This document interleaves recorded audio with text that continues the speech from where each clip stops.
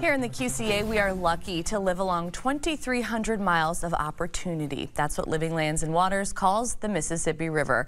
Mike Coyne Logan from Living Lands and Waters is here. Mike, thanks for being here today. Yeah, thanks for having me. Yeah, exciting stuff to talk about, which we'll get to in a minute, but um, remind everybody uh, what Living Lands and Waters is all about. You've been in part of this community and many other communities for a number of years now. Yeah, our, our, our main mission is we clean up basically trash from rivers in the United States, and mm -hmm. we remove about 13.3 million pounds of trash from 26 wow. rivers in the United States with the help of over 130,000 volunteers. So we we really heavily rely on a lot of people's help too to do what we do. Yeah, I, I remember, I think I must have been in high school or something and I saw some documentary that Chad was in and you know, I didn't grow up in the Quad Cities either and it was just like this young guy cleaning up, you know, cleaning trash out of rivers and things like that and how much it has grown, how much you guys have done since since you guys got started here is truly amazing. Uh, you do a lot as far as expanding awareness as well and environmental issues. It has morphed into something pretty great. Yeah, for sure. Um, you're getting ready to launch the Mississippi River Institute. Um, that's what you guys have dubbed it. It's your second floating classroom. Tell yeah, us about it. Yeah, so this, this classroom is going to focus on all the different river-related careers and opportunities out there available for high school students. We talk about, you know, even though a lot of kids that grow up right next to this, this great natural resource, this great ecosystem, but also just this important, you know, thing for U.S. economics yes. and the opportunities for different careers out there they're just not aware of. So making them aware of these opportunities, let them know what it takes to get into these different career paths mm -hmm. is something we want to do and highlight with this particular classroom. It's pretty cool. Uh, you guys are going to um, talk about different careers, some of which I think people would be surprised to learn about. Um, you're also going to have industry guest speakers. Um, so talk a little bit about that idea.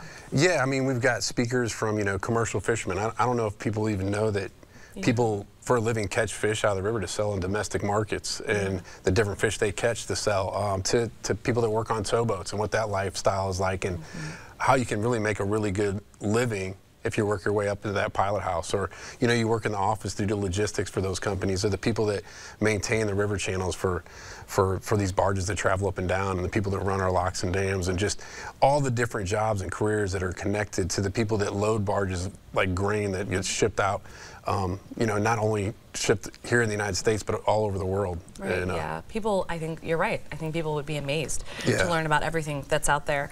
Uh, so along with classroom experience, uh, students are going to get a chance to get out on the water. Uh, talk about the canoes that you guys have kind of attached yeah, we just we just purchased three 30-foot canoes, wow. and that's another way for, you know, one of the biggest one of the biggest parts of our mission is, you know, we're going to also, you know, talk about these different careers, but also just you know, the importance of it as an ecosystem, as a natural resource. And what better way to do that than actually get kids out there and appreciate it for its own natural beauty and, and enjoy it. So it just and it sounds fun. Like yeah, at the end yeah. of the day, it just sounds like a blast.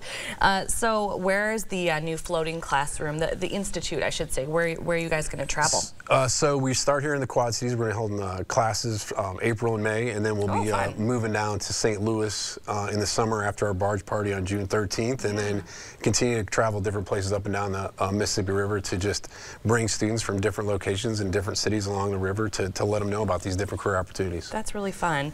Uh, the barge itself has a pretty cool history. Um, we were seeing images of it. It looks beautiful, but it's actually it's very old, correct? It it's comes it's a shell of a steam-powered crane. It's got that, and you guys had folks out in Clinton kind of help you construct this whole thing.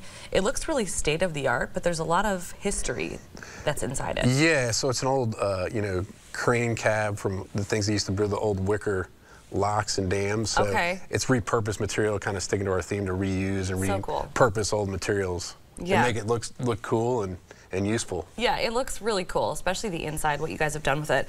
Uh, so how do people sign up for these classes? So uh, all the classes were, were, were, booked from April to May for the most part, but uh, we have our website at livinglandsandwaters.org. You can go on there and then uh, just just reach out to, to, to, myself and Mike at livinglandsandwaters.org if you're looking to book stuff in the future or, or, just check out our website and get in contact with us and we'll, we'd love to like for the future next year. yeah, more, absolutely. I mean, there will be so many more opportunities, um, you know, to be able to participate in that. I, I don't know a teacher that wouldn't love it.